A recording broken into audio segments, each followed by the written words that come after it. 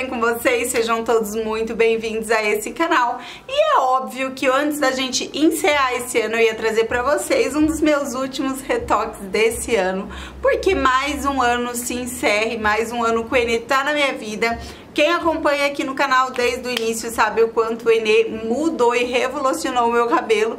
Então é óbvio que a gente ia ter que encerrar esse ano com um belíssimo retoque. Bora lá, já peguei o meu Livin Pelúcia pra proteger o comprimento do cabelo. Isso é muito importante, gente. Protejam o cabelo de vocês.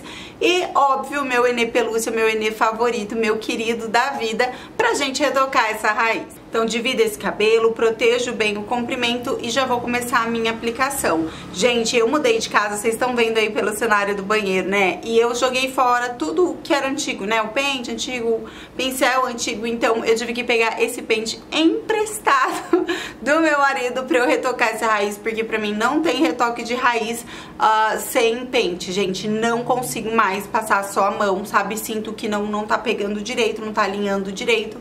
Então peguei esse pente que é provisório, tá? Eu prefiro mais fininho mesmo, mas esse era o que tinha pra hoje e eu trouxe o retoque com ele aqui pra você. Tô com cara de sono porque eu gosto de fazer os meus retoques de manhã, porque dá tempo de eu retocar o meu cabelo, esse cabelo secar e ficar tudo certinho. E fui fazendo o retoque, gente, como vocês já estão acostumados. Então, mechas finas, tá bom? Todas elas bem protegidas, Living Pelúcia, comprimento e pontas. Aplicando somente na raiz crescida e tentando não encostar no couro cabeludo. Isso é muito importante também, eu sempre reforço pra vocês. É, a química, ela não foi feita pra encostar no couro cabeludo. Às vezes acontece, eu também encosto e aí é que você vai caprichar na lavagem, tá? Pra não ficar excesso nenhum do produto no seu couro cabeludo. Vocês esfolia bem esse couro cabeludo, limpa ele muito bem.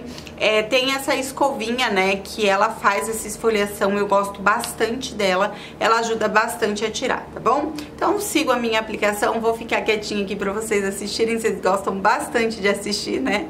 Então vou botar uma musiquinha boa aí e já volto.